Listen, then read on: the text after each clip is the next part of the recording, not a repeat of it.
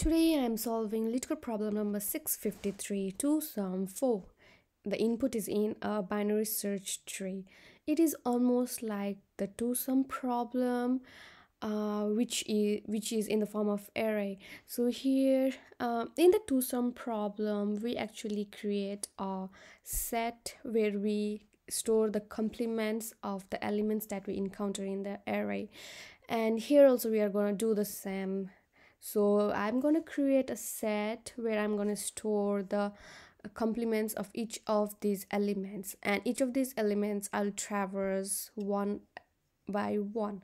So it's the same almost the same thing that we are doing it but uh, the only difference is it it is a binary search tree here.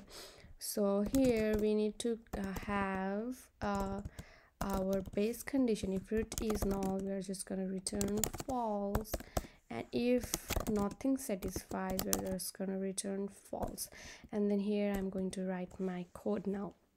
So we'll first check the set if the value the complement of the value exists in the set or not. So if um, set that has k minus root dot value return true so we found our complement and hence we are just going to return true if not then we add our root to the set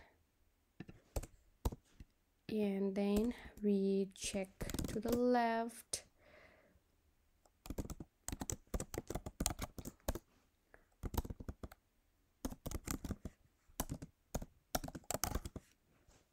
and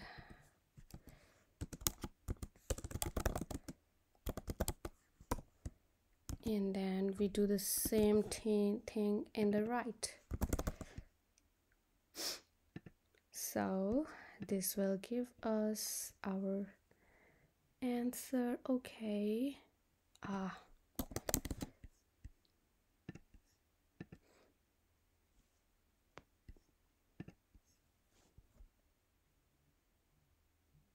Great.